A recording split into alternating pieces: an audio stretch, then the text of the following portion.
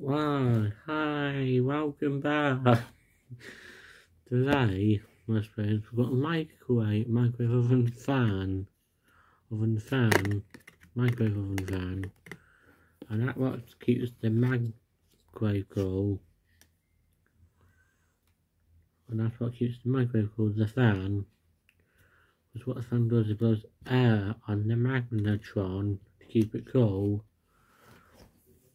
also has something inside the magnetron heat now and there's one the controls when the fan turns on and makes the heat now cool.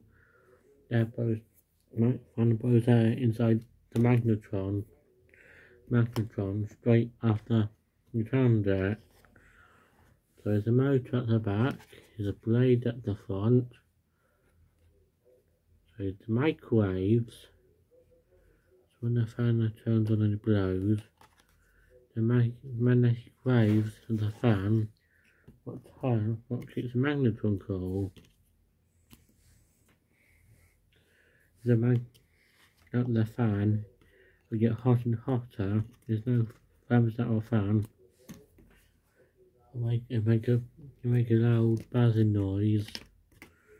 Because all the heat will come out. You should watch the, the video with that man If I need microwave. So obviously um, the fan turns on.